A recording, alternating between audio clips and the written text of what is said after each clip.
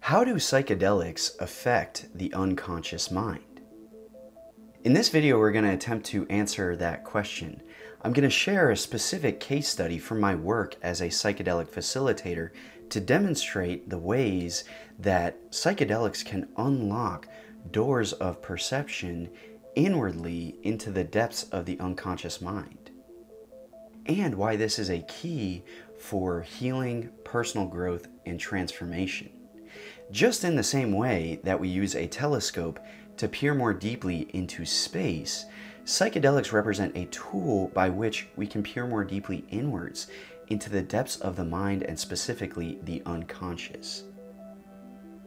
According to multiple studies, psychedelic assisted therapy helps to significantly improve the symptoms of depression in around 80% of cases, which makes psychedelic assisted therapy the most successful treatment that we've ever discovered when it comes to addressing depression. So, how are these remarkable findings possible? Well, it all links to the unconscious mind. Let's explore.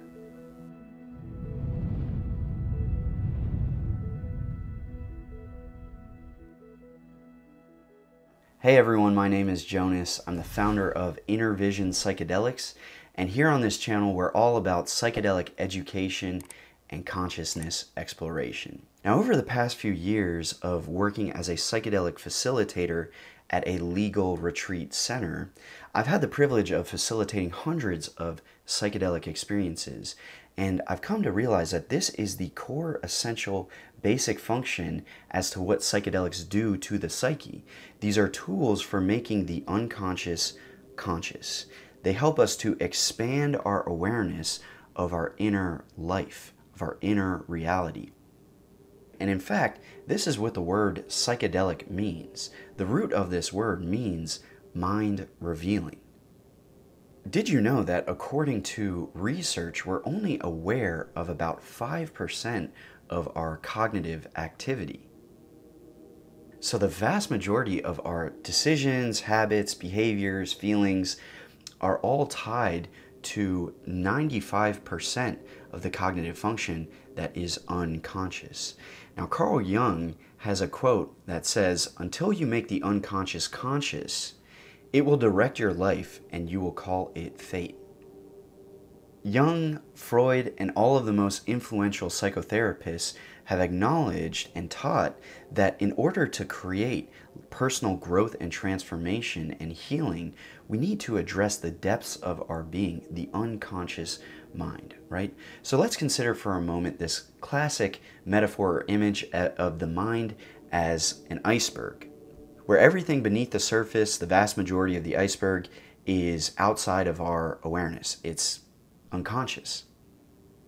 Under the influence of a psychedelic substance such as psilocybin or LSD, it's almost like the waterline recedes or the iceberg begins to turn over so that more and more of what's beneath the surface is revealed.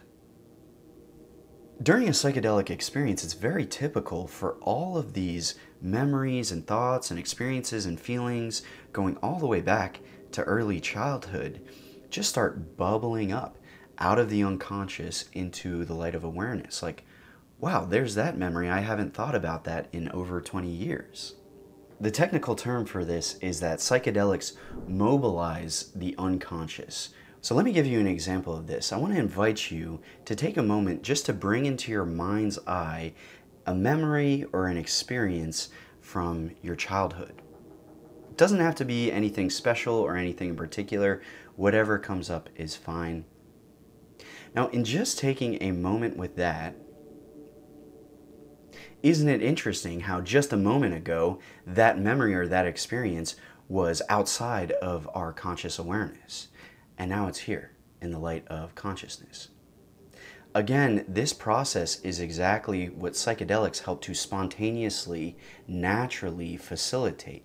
It's worth acknowledging that there are parts of the mind that are so deep down there that they're not at all accessible to us, no matter how hard we look, except under special or specific circumstances, such as when we take psychedelics. And you may notice that when the unconscious is mobilized in this way, that's not just a cognitive process. There are often powerful feelings or emotions that are associated with that, right? So when I think back to this memory of myself as a child playing on the swing set in my backyard, there's this feeling of, of joy, uh, playfulness associated with that, right?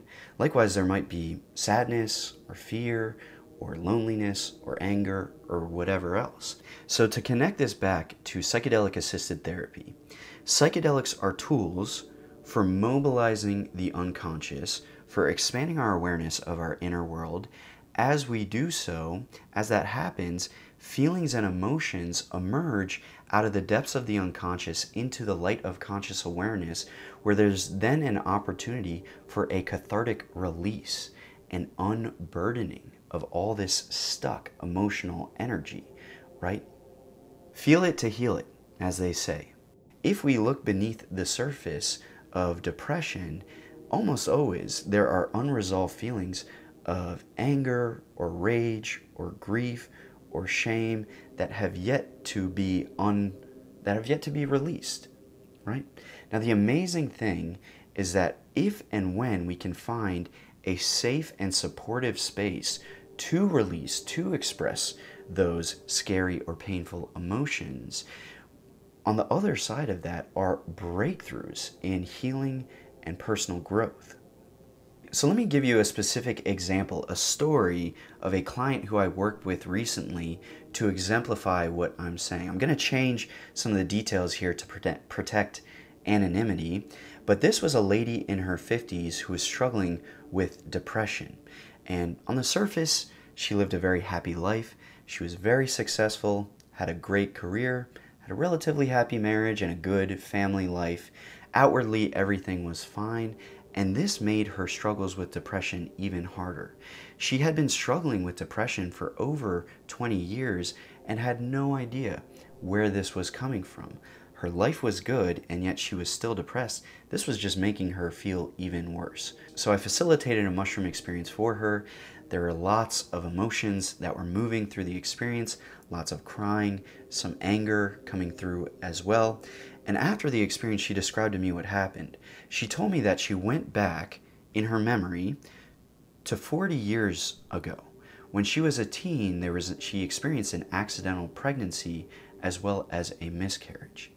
She said that during her mushroom experience, she was able to grieve the miscarriage for the first time in her life. She saw this unborn child as a ball of light. She saw that it was a girl. She even gave her a name. She was able to grieve for the first time. She also realized how much rage and anger she had towards her parents for not being there and really supporting her at that time. She was yelling, she expressed that anger and rage, and then was able to continue crying and came to a place of tenderness, right? Where she was able to forgive her parents and forgive herself as well. She ended up in this beautiful place of love, right? And gratitude and appreciation for what she has in her life. The next day, when we were talking and I was just integrating with her, she told me something along the lines of I don't want to be naive about this, but as of right now, it feels that my depression is cured. And what was truly amazing about this to her, as well as to me, was that according to her, she hadn't thought of this experience in almost 40 years, right? She had fully just put it out of her mind and locked it away it wasn't remotely on her radar. She had no idea that this experience, all those years ago, could be tied to her depression and all the symptoms of depression that she was experiencing every day in the present. And yet, something in her seemed to know. How is it that in her first experience with mushrooms, that was the very first thing that came up? That was exactly where her mind went. It's very, it's amazing. It's astonishing. It's mysterious how this process of healing and awakening unfolds. So, this case study is just one example of how psychedelics mobilize the unconscious mind, expand our awareness, and how the very natural byproduct of that is healing, growth, and spiritual transformation. it really does extend all the way into spiritual transformation. It doesn't stop just at the healing because the deeper we go into the depths of the unconscious, there's essentially an infinite ocean within each one of us waiting to be explored. Eventually, we start accessing what Jung described as the collective unconscious this sense that my own seemingly personal, limited psyche is in fact part of a much greater reality. It's almost like the iceberg realizing that it's floating in a vast ocean with countless other icebergs, and that all the other icebergs, as well as the ocean itself, are all made fundamentally of the same thing. There is a lot more to be said about all of this. This is just kind of a broad overview. Please comment down below. I'm very curious to hear what are your thoughts or reflections about the ways that psychedelics can facilitate an exploration of the unconscious mind? The potential for transformation here is just enormous. And when it comes to psychedelic research, we're just starting to scratch the surface of a deeper understanding of how all of this actually works and process and unfolds. It's very mysterious. It's incredible. That's why I love talking about it. Please visit me on Innervision Psychedelics to learn more about my work. You can also check me out over at Patreon to support this work of psychedelic education and consciousness exploration. I appreciate it so very much. Thank you, thank you, and I'll see you back here very soon.